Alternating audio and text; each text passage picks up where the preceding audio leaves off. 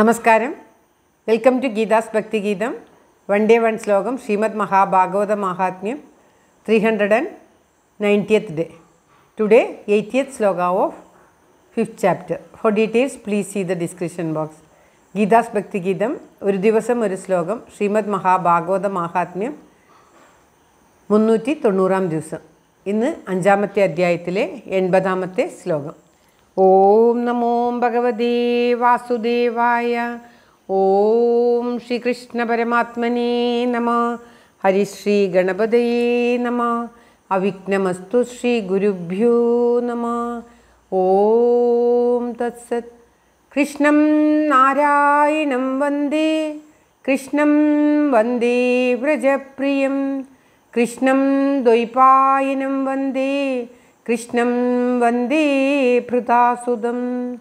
ശ്രീപരമാനന്ദനാഥനായ അദ്വൈതദീപമായി മോക്ഷേക്ഷു വൃന്ദമന്ദാരമായി കാരുണ്യവാരിധിയായി വിഭൂദേശനാം നാരായണൻ മമ മന്ദത മാറ്റണം.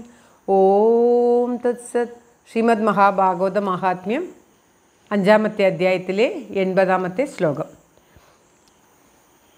വിമാനീ സഹ ഭക്തിശ്ച ഹരീരാവിർബഭൂവ ജയശബ്ദ നമശബ്ദ തത്രാസൻ ബഹവസ്തഥാ വിമാനീ സഹ ഭക്തിശ്ച ഹരീരാവിർബഭൂവ ജയശബ്ദ നമശബ്ദ തത്രാസൻ ബഹവസ്തത ഓം തസ്സത് ഭക്തജനങ്ങളോടും വിമാനങ്ങളോടും കൂടി അവിടെ ആ ശ്രീഹരി തന്നെ പ്രത്യക്ഷനായി വന്നു അത്രേ.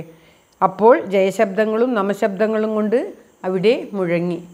കഴിഞ്ഞ ശ്ലോകത്തിൽ ആ സപ്താഹം താൻ നടത്തിയ സപ്താഹത്തിൽ എല്ലാവരും വളരെ ശ്രദ്ധയോടുകൂടി മനനം ചെയ്തിട്ടുണ്ടായിരുന്നില്ല എന്നറിഞ്ഞ ആ ഗോകർണൻ വീണ്ടും വളരെ ശ്രദ്ധയോടുകൂടി സപ്താഹം നടത്തുകയും ആ സപ്താഹത്തിൽ എല്ലാ മഹാത്മാക്കളും വളരെ ശ്രദ്ധയോടുകൂടി ആ കഥാശ്രവണം ശ്രമിക്കുകയും ചെയ്തു.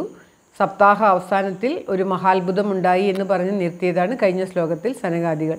ഇപ്പോൾ പറയുകയാണ് അവിടെ ഭഗവാൻ വിമാനത്തിൽ ഭക്തജനങ്ങളോടുകൂടി അതായത് ഭക്ത ഭഗവാന്റെ പൂർണം ഭഗവാനെ അറിഞ്ഞ് ഭഗവാനിൽ ലയിച്ചവരൊക്കെ ഭഗവാൻ സ്വരൂപങ്ങളായിട്ട് ഭഗവാന്റെ കൂടെ എപ്പോഴും ഉണ്ടായിരിക്കും അത്രേ അങ്ങനെയുള്ള ആ ഭക്തന്മാരോടുകൂടി ഭഗവാൻ വിമാനത്തിൽ അവിടെ തന്നെ വന്ന് പ്രത്യ അത്രയും ആൾക്കാരുടെ മുന്നിൽ വന്ന് പ്രത്യക്ഷനായത്രേ.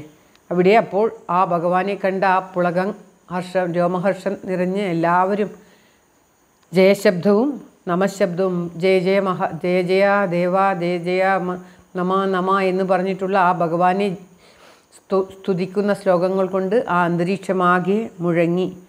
അത്രയും ഭയങ്കരമായിട്ടുള്ള ശബ്ദങ്ങൾ. എല്ലാവരും ഒരേപോലെ നമശബ്ദവും ജയശബ്ദവും മുഴക്കി അവിടെ അങ്ങനെ ശബ്ദ മുഖരിതമായി തീർന്നു എന്നാണ് ഈ ശ്ലോകത്തിൽ പറയുന്നത്. ഭഗവാന്റെ കാരുണ്യമാണ് ഈ ശ്ലോകത്തിൽ വർണിക്കുന്നത്. വളരെ ശ്രദ്ധയോടുകൂടി എവിടെ സപ്താഹം നടക്കുന്നുവോ അവിടെ ആ ഭഗവാൻ തന്നെ പ്രത്യക്ഷനാകും എന്നതിൽ ഒട്ടും സംശയം വേണ്ട എന്ന് ഈ ശ്ലോകത്തിലൂടെ സനകാദികൾ നമുക്ക് ഉറപ്പിച്ച് പറഞ്ഞു തരികയാണ്. ശ്ലോകം ഒരിക്കൽ കൂടി. വിമാനേ സഹ ഭക്തിശ്ച ഹരീരാവിർബഭൂവ ജയശബ്ദ നമശബ്ദ തത്രാസൻ ബഹവസ്തദാ സർവത്ര ഗോവിന്ദനാമസങ്കീർത്തനം ഗോവിന്ദ ഗോവിന്ദ.